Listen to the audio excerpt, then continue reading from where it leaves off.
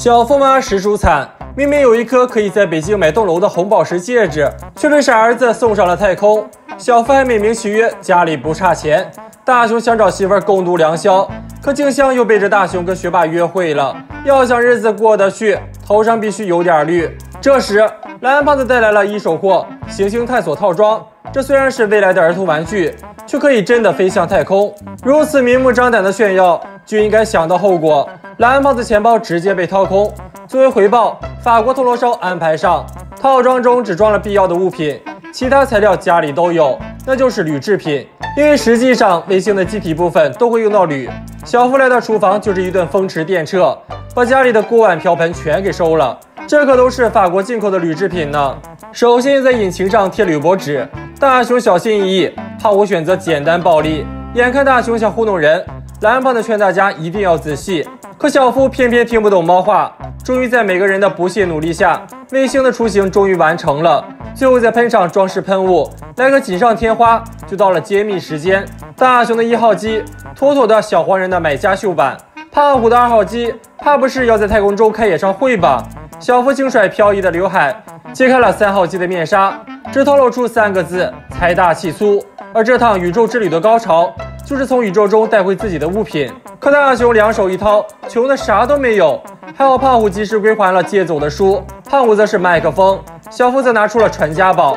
只有。这颗红宝石，才能彰显小夫的身价。蓝胖子去外星藏好物品，随着倒计时的喊出，大家的火箭一同发射。随着火箭的升空，众人来到操控室。胖虎刚要用拳头逼蓝胖子拿出高端操控室，可下一秒大家就身临其境，拉起纸片，操控室内就真的出现了手柄。众人握住手柄，随着气球的破裂，火箭冲向了太空。可一听说到达目的地还有一个点儿，大家直接泄了气，摘掉 3D 眼镜就要去当个干饭人。火箭进入预定轨道，蓝胖子激动的不行，大雄三人却悠闲自在。接下来就到了搜索自己物品的时间了。小夫率先出动，凭借着熟练的操作，率先在山脚下发现了自己的红宝石，顶到空地上轻松抓起。胖虎也成功抓住了麦克风。可到了大雄这里，如果不出意外的话，要出意外了。晒衣架果然还是不靠谱，只能求救 NPC 蓝胖子了。来到外星，举起物品，可大雄一顿瞄准，差点把蓝胖子的大圆脸给揪下来。